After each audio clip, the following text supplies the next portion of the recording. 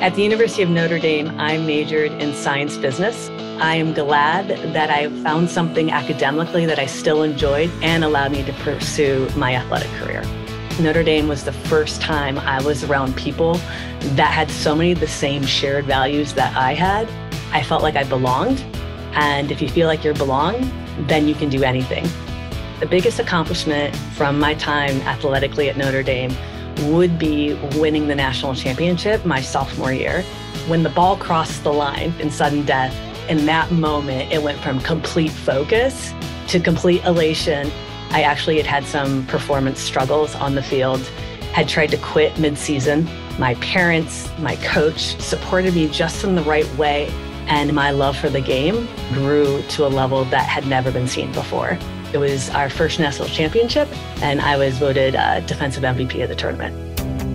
January of my senior year was my second tryout with the women's national team, getting to play with some of these idols that were on my walls and posters.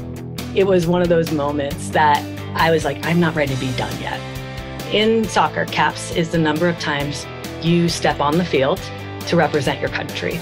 And winning my 200th cap, I believe I'm the 13th woman to have done it but I think it's maybe the 25th in the world, men and women, to get to 200. And it takes consistent performance and adaptability, and it shows resilience and a little bit of luck to achieve that, and just love for what you're doing. Currently, I am head of women's football for US Soccer, so I manage our women's national teams from under 15 on up. I never thought or dreamed I would be where I am now, but I also know that I had been supported and had this fearless ability and still do to try things and not care if I fail because I truly believe I will figure it out in the way that I'm supposed to figure it out.